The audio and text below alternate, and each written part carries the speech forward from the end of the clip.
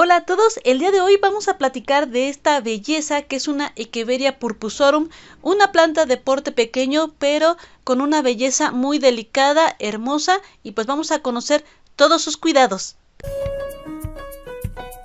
Como pueden ver, esta plantita es muy curiosa, tiene unos tonos bastante interesantes y estos van a variar dependiendo del tipo de cultivo, las condiciones climáticas, el sustrato, etcétera, donde la coloquemos. Normalmente lo que llama la atención de ella es que tiene un tono de verde tan clarito que puede notarse que la planta pareciera como más blanquita y pues tiene bastantes manchitas rojas en sus hojitas que le dan una apariencia como de que tuviera un grabado en toda la plantita, así que pues por apariencia se ve hermosa. Es una suculenta pura, no es un híbrido, es originaria de México endémica específicamente de los estados de Oaxaca y de Puebla, así que pues desafortunadamente en estado silvestre se encuentra en peligro de extinción, así que si ustedes quieren adquirirla, procuren que sean plantas cultivadas en humas y que no vayan a ser plantitas extraídas de hábitat. Y una vez que ya conocimos un poco de ella, vámonos a ver los cuidados que necesita. Es una planta de porte pequeño, como te comentaba, la roseta puede llegar a alcanzar hasta 12 centímetros de diámetro, así que pues no es muy grande y no es una plantita que llegue a desarrollar mucho tallo. A veces sí, pero esto va a depender más de las condiciones de cultivo.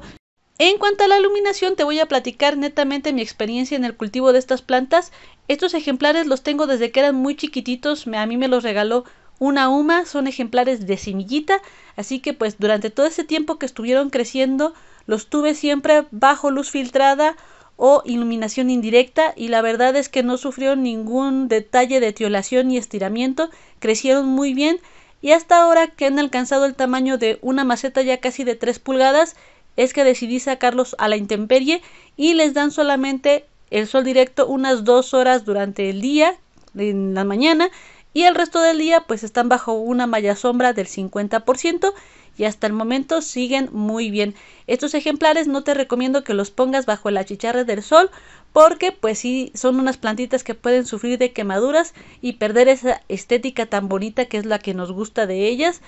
De hecho, se comenta que también se pueden tener en interior siempre y cuando los coloques cerca de una ventana o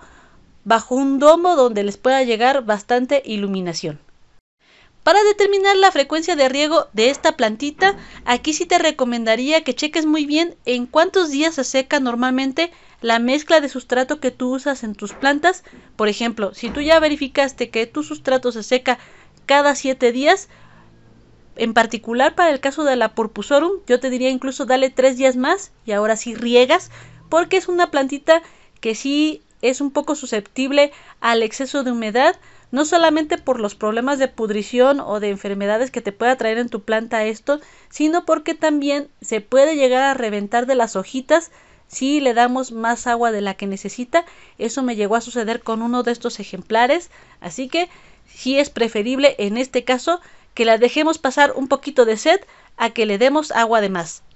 Y como complemento del cuidado de nuestra porpusorum para que no se nos vaya a pudrir o vaya a tener problemas con la humedad, pues viene lo que es la mezcla del sustrato. Aquí en estas plantitas sí te recomiendo bastante que uses mezclas más inorgánicas. En el caso de mis plantas, estas son en particular una de las pocas que tengo en una mezcla de 8 partes de tepojal, una parte de tierra negra y una parte de humus de lombriz. Y así es como me han sobrevivido estas dos porque aquí sí les voy a ser muy sincera,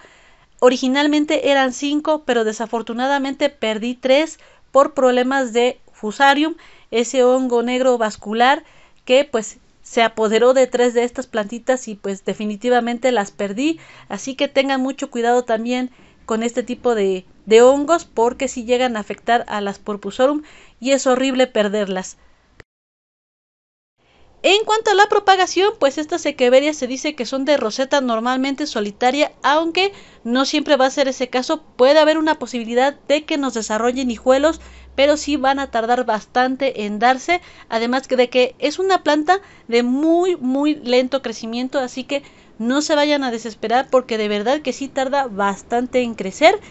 También se pueden propagar por hoja, aunque sí es un poquito complicado porque de repente no todas pegan, hay que seleccionar muy bien unas hojas muy sanas de los ejemplares para que se puedan dar de esta manera. Así que nos queda como alternativa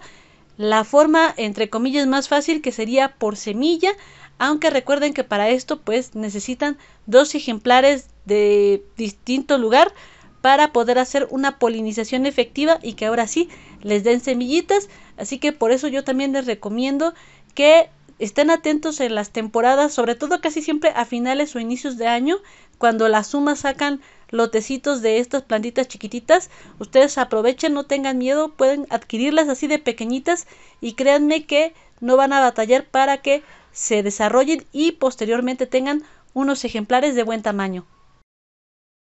En cuanto a la temperatura, simplemente te aconsejo que en invierno o cuando haga frío en el lugar donde tú vives, si este se va a mantener por varios días, pues es preferible resguardarlas porque si nos llegan a soportar bajas temperaturas, pero no por periodos prolongados. Y pues en cuanto a la floración, como puedes ver, son plantitas que también nos florecen. Esto lo hacen durante diciembre hasta febrero, pueden florecer durante toda esa temporada. Va a tardar un poco en que lo hagas si es que las adquiriste pequeñas, pero como puedes ver aquí con las mías, ya que están alcanzando el tamaño de la maceta de 3 pulgadas, me están regalando sus primeras floraciones, que si bien aún no abren, aquí les voy a dejar una imagen para que conozcan el color de flor que tienen. En cuanto a las plagas que pueden llegar a atacarla, como aquellas suculentas que hemos tenido de hojas un poco más compactas, como en el caso de esta,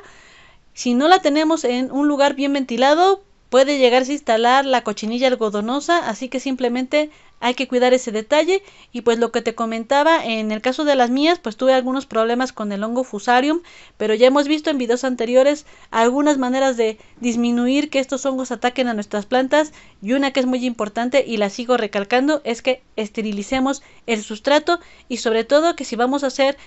cortes o manipulación de las raíces de nuestras plantas, procura siempre hacerlo en ambientes secos y dejar que las heridas cicatricen, se cierren perfectamente. Posteriormente volvemos a plantar y ahora sí, pasados unos días, ya podemos volver a regar a nuestras plantitas para que de esta manera nosotros también evitemos que vayan a entrar por esas heridas agentes que después las vayan a dañar y pues nos vayan a hacer que las perdamos.